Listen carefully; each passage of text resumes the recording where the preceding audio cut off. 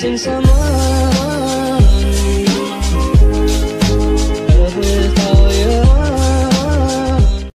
obat tradisional asam lambung yang mudah ditemukan.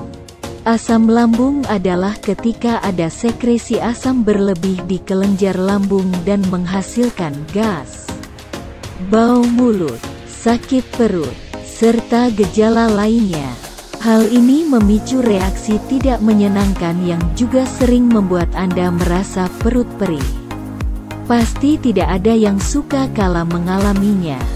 Menurut ahli gizi Anshul Jai Barat dari New Delhi seperti dilansir Food and TV, asam lambung dapat disebabkan karena jarak waktu makan yang lama, perut kosong, atau asupan teh, kopi, merokok, atau alkohol yang berlebihan.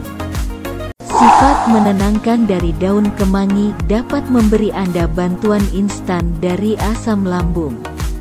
Saat muncul gas pertama, makan beberapa daun kemangi atau rebus 34 daun kemangi dalam secangkir air dan biarkan mendidih.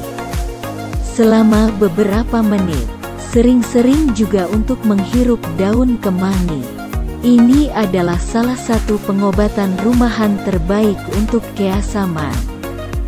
Jika kamu membutuhkan obat dengan berbahan dasar daun kemangi, bisa cek link di deskripsi. Pernah bertanya-tanya mengapa orang yang lebih tua menghabiskan makan dengan gula merah? Karena kandungan magnesiumnya yang tinggi, gula merah membantu meningkatkan kekuatan usus, kata dokter. Manojka Ahuja, dari Rumah Sakit Fortis, New Delhi. Gula merah membantu pencernaan dan membuat sistem pencernaan Anda lebih bersifat basah. Sehingga mengurangi keasaman lambung. Isaplah sepotong kecil gula merah setelah makan, dan rasakan manfaatnya. Karena gula merah juga membantu menjaga suhu tubuh normal dan mendinginkan perut selama musim panas atau kemarau. Jika kamu membutuhkan obat dengan berbahan dasar gula merah bisa cek link di deskripsi.